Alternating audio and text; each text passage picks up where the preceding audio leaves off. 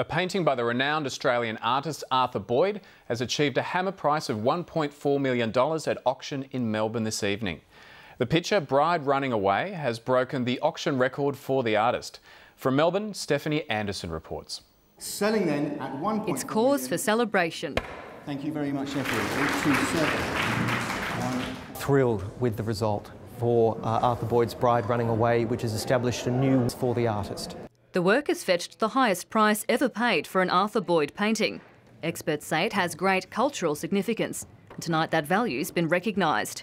It's an incredibly uh, seminal painting, um, a key work in his oeuvre, and was very confronting when it was first painted. Painted in 1957, it's part of a series called Love, Marriage and Death of a Half Caste exploring the plight of Indigenous Australians at a time when they were greatly marginalised. It's a subject that was close to the artist's heart.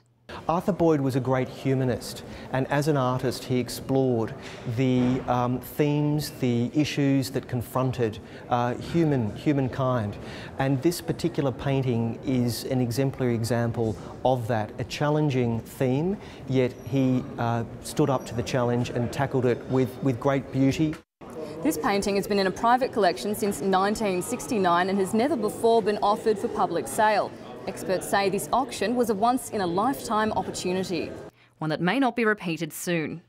The auction also featured works by other prominent Australian artists, including Brett Whiteley and Sidney Nolan. A work by a colonial artist known only as the Sydney bird painter also reached an auction record, selling for more than $200,000. Stephanie Anderson, Lateline.